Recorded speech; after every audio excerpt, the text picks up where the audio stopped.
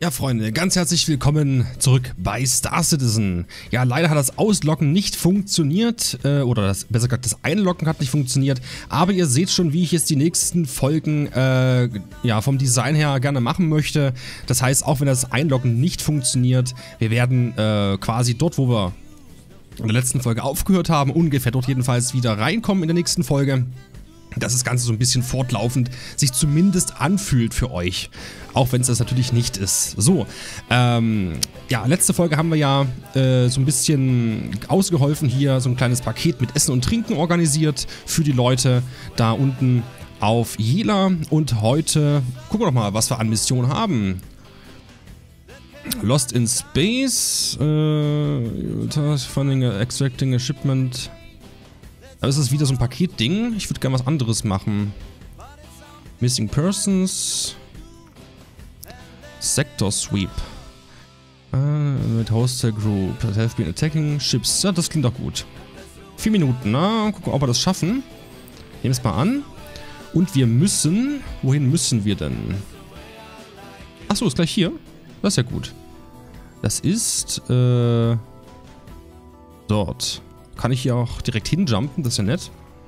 So, dann wollen wir doch mal gucken. Klingt nach Kampf. Da können wir unsere neuen Laserknarren mal ausprobieren. Rendezvous Point. Los geht's. Ich hoffe, euch äh, das so, dass es so ein bisschen fortlaufend sich dann äh, ja, anfühlt. Könnt mir ja eure Meinung gerne in die Kommentare schreiben, wie immer. Mir persönlich gefällt es ganz gut, auch wenn ich natürlich immer erstmal damit daherfliegen muss. Aber nein, das müsst ihr ja dann nicht wissen. Ne? Das sage ich euch jetzt nur einmal. Und da passt das schon. So, Rendezvous Point. Halt. Da war da was. Uh. Hä? Ich sehe es nicht. Hallo? Rendezvous Point? Warte mal. Zum Wegfliegen nochmal. So, umdrehen. Ah ja. Dann müssen wir wo jetzt hier warten, bis da irgendwas passiert? Oder wie ist das? Ich fliege ein bisschen näher ran.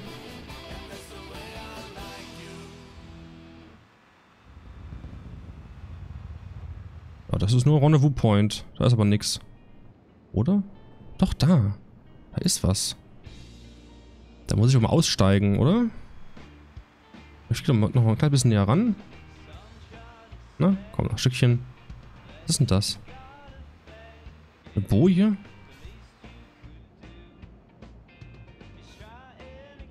Ein kleiner Satellit ist das, aha. Ja, ich steig mal aus und wir gucken mal, was es ist. Äh, Power off. so, raus hier. Ich habe schon mal gesagt, die meisten Missionen habe ich bisher noch gar nicht gemacht, weil einfach das Ganze ein bisschen buggy ist. Objective complete. Meet at Rendezvous. Go to Patrol Area. Ah, okay, hätten wir gar nicht aussteigen müssen. Na gut, dann gehe geh ich hier wieder rein. Äh. so viel zum Thema Buggy. Ne? Äh, ich habe Blut im Gesicht. Hey Schiff, wie geht's? Oh, die Knarre. Warte mal, ich versuche da mal reinzukommen.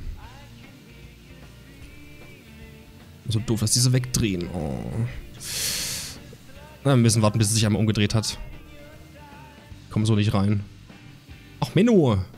So Mist. Fliegt mal so ein bisschen eher entgegen quasi, ne? Er dreht sich so ganz ungünstig. Warte mal. Wir gleich erschlagen hier. oh, aua. Aber ich kann sie bremsen, glaube ich.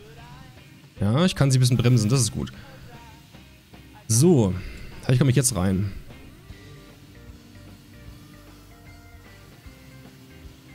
So. Nein. Enter-Ship. Geht das? Ja, das geht. Sehr gut. Okay. Flight ready. So, wir müssen... Wo müssen wir denn hin? 30 Kilometer, okay. Da fliegen wir mal ein Stückchen Koffer husten.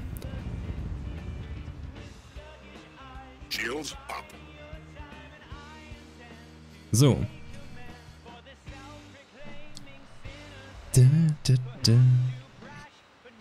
Wir haben hier diese Ionenlaser. Ah, diese blauen. Gucken, ob wir damit irgendwas Cooles machen können. Aber das ist auf jeden Fall eine Mission, die ist halt äh, eigentlich genau das Richtige für eine Avenger. Stalker. Contact. Ah ja, da haben wir einen Gegner. Contact. Zwei Gegner, okay. Mal normale Kampfgeschwindigkeit mache ich meistens so 80% vom äh, normalen Speed ohne Afterburner. Das sind immer so um die 200, ne? Gregor Ramesh. Ramesh. Er fliegt ganz komisch gerade hier.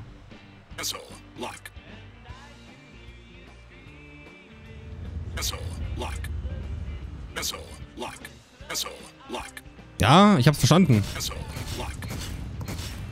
Na komm, wir versuchen es mal so.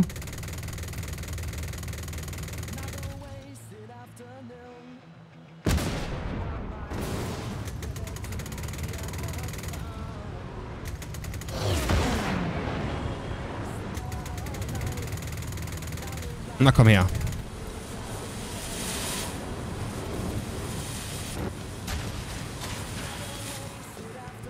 Ich decouple mich mal. Er fliegt ganz komisch gerade, das Schiff. Weiß nicht, was das ist. Ähm. Oh, ob wir das wieder hinkriegen jetzt hier? Irgendwas spinnt da gerade. So. Ähm. Ja, guck mal, wie der fliegt. Hä? Habe ich irgendwas verloren? Denn das? Komische Flugbugs, die wir jetzt in letzter Zeit haben. Die sind echt sehr, sehr anstrengend. Weiß nicht, woher die kommen.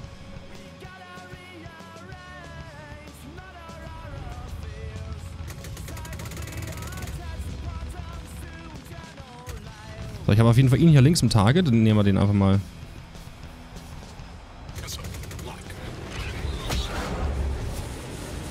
Guck mal, der fliegt so ganz, ganz seltsam. Was ist denn das?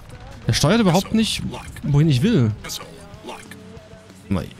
Ich stelle mich jetzt mal ganz gerade. So, normalerweise müsste er es, weil ich ja gekappelt bin, wieder die, die, die Richtung ausgleichen. Wir mal kurz die Engines off. Das ist ja...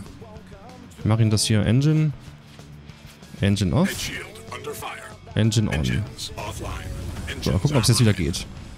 Nö, guck mal, er macht's nicht. Hä? Jetzt macht er was. Ich reil's gerade nicht. Tut mir leid, Freunde. Ich kann gerade überhaupt nicht steuern, weil der äh, quasi nicht die, die, die, die, äh, ja, die Richtung ausgleicht.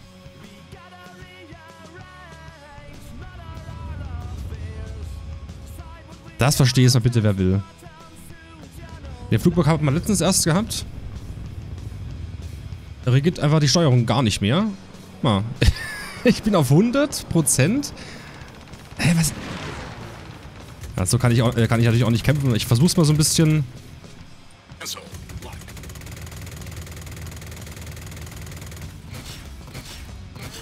Nee, so kann man ja nicht spielen.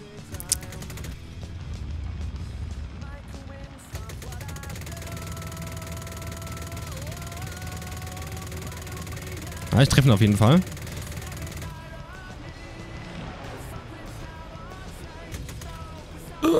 Und dann dreht er sein... Alter. Och, komm schon. Also irgendwas stimmt hier nicht. Ich weiß nicht, was es ist. Ich, ich habe keine Ahnung.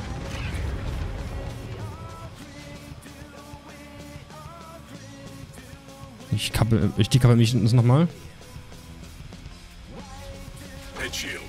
Ja, ja, ja, ja, ich weiß. So. Nein, nach rechts. das Schiff, wie es abdreht. Geht nichts. Es geht nichts gerade. Tut mir leid. Tut mir leid, aber das ist halt so beim Let's Play aufnehmen, bei einem Alpha-Spiel.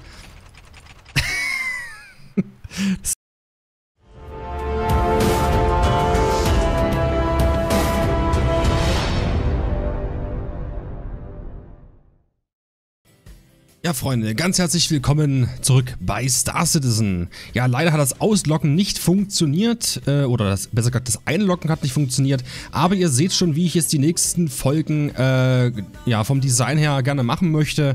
Das heißt, auch wenn das Einloggen nicht funktioniert, wir werden äh, quasi dort, wo wir in der letzten Folge aufgehört haben, ungefähr dort jedenfalls wieder reinkommen in der nächsten Folge dass das Ganze so ein bisschen fortlaufend sich zumindest anfühlt für euch. Auch wenn es das natürlich nicht ist. So.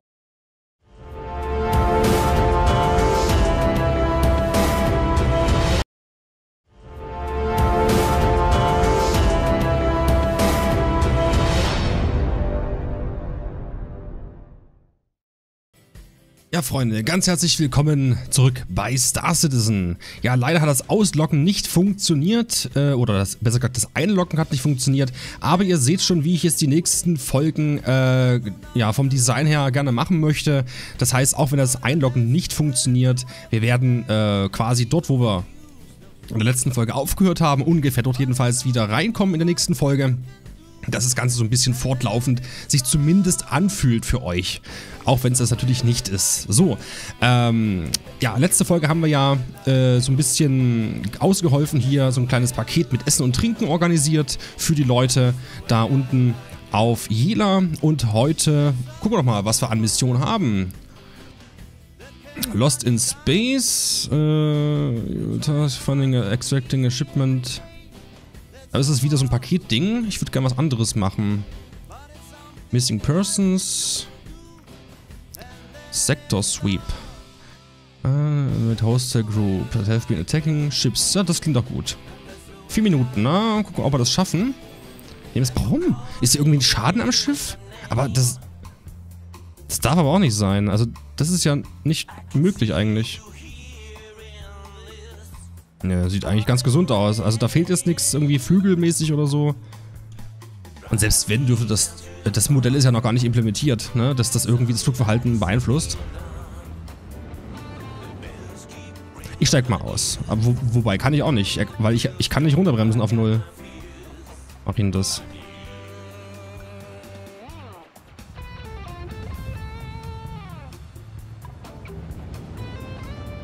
Warte mal, so, auf Null. Treibt halt immer in diese Richtung. Warte mal. Die Richtung ist links. Also irgendwie... Oh, komm.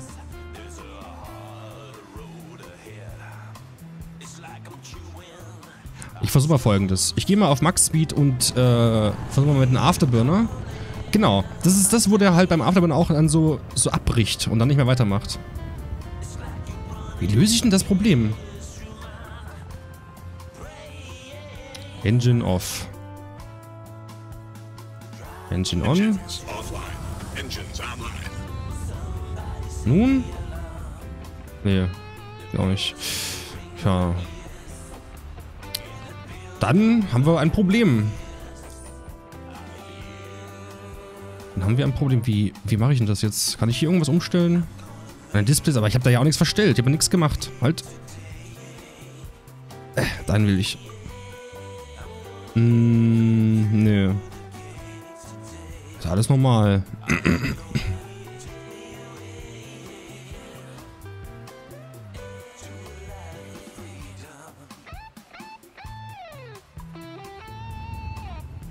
Also wenn irgendwer von euch dafür eine Lösung hat, bitte schreibt mir das mal in die Kommentare. Ich habe keine Ahnung, was ich hier jetzt machen kann. Äh, einzige Möglichkeit wäre jetzt versuchen auszusteigen, wieder einzusteigen. Das Problem ist, dass das Schiff nicht auf Null runterbremst. Wie ihr gleich seht. Das driftet immer so nach, nach links irgendwie. Quatsch, ey. Warum tut es das?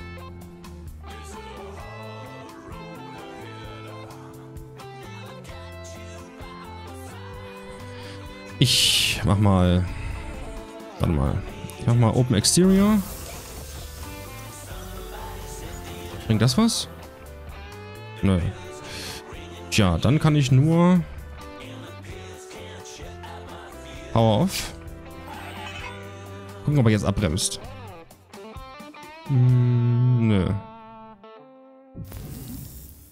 Ich habe eine Vermutung, woher der Bug jetzt stammt. Aber das bringt uns auch nicht weiter.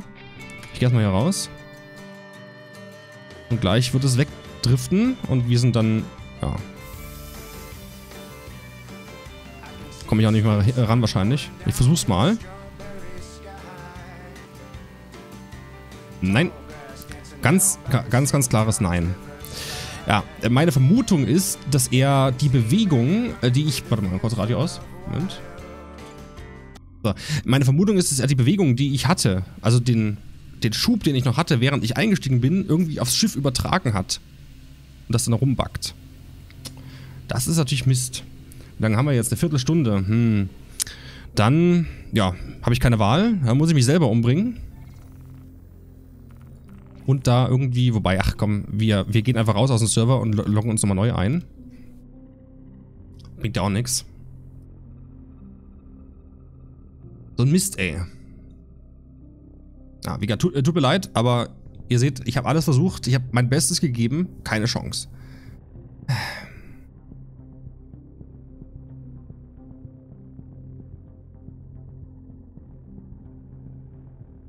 würde sagen, wir gehen zum Abschluss der Folge nochmal ganz kurz in den Hangar. Da will ich euch nämlich nochmal was Kleines zeigen. Ähm, MMMM. Wir gehen in den Revel York Hangar. So.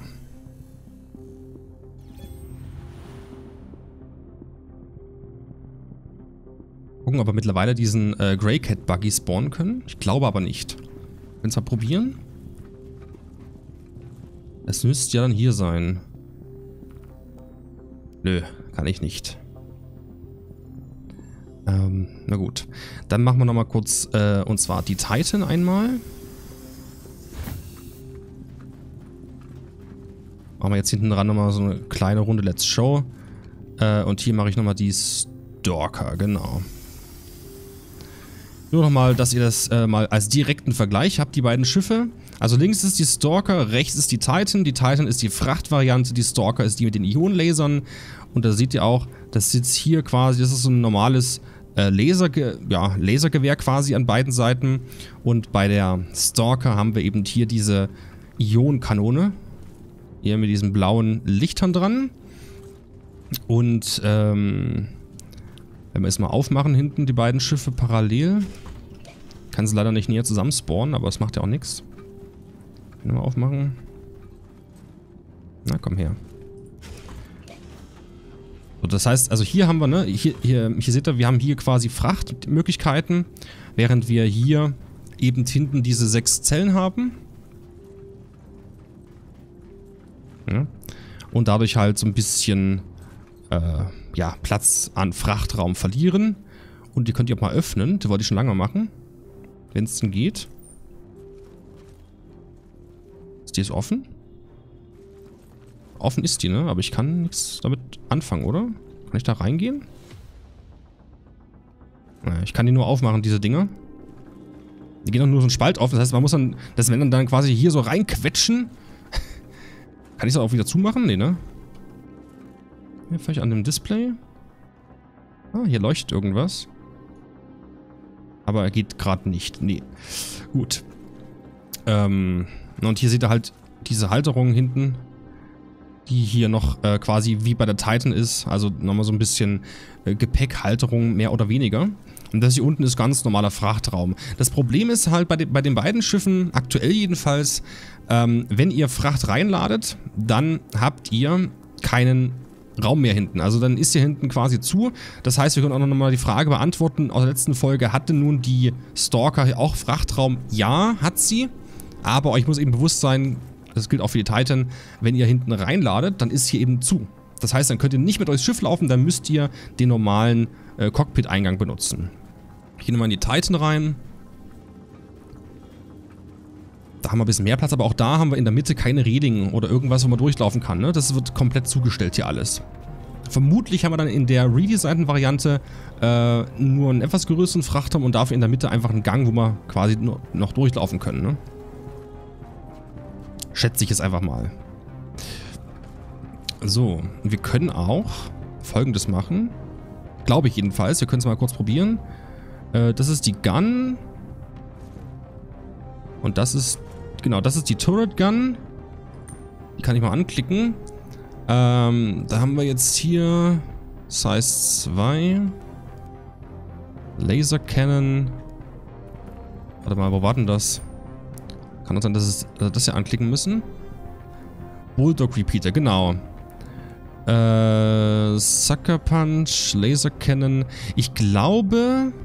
Warte mal, lass mich mal ganz kurz noch das prüfen.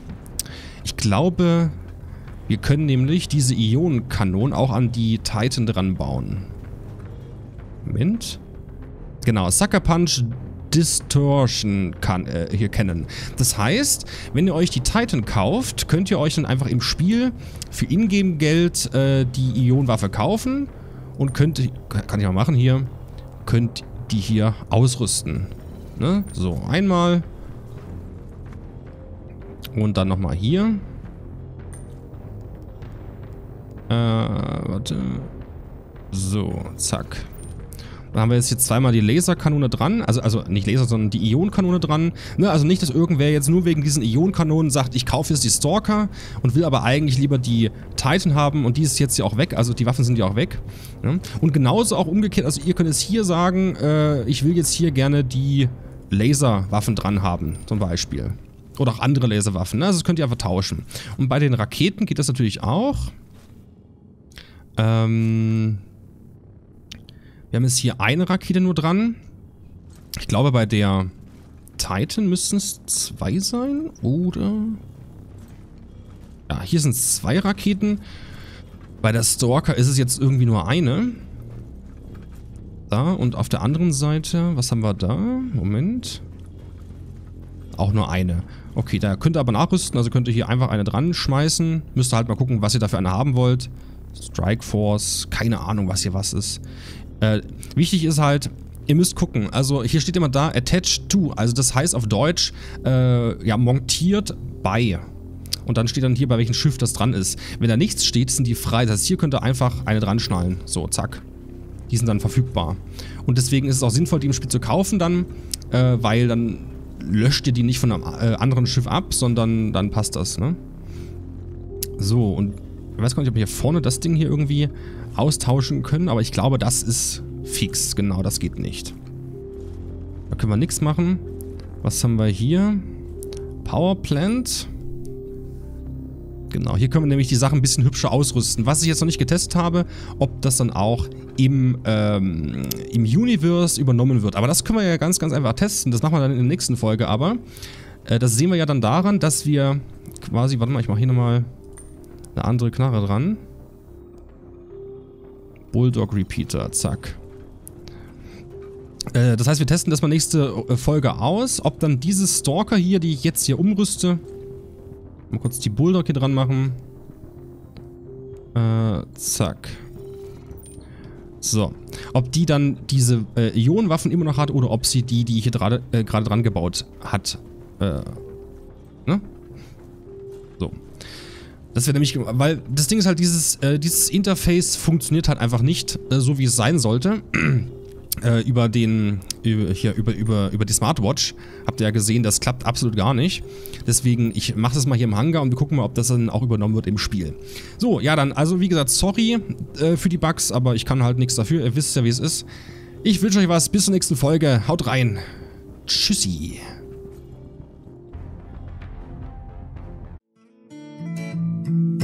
With 65 degrees. The last time I asked, I was down on my knees. The last time I heard you speak, you shot ice into my veins. I almost wished I would rain.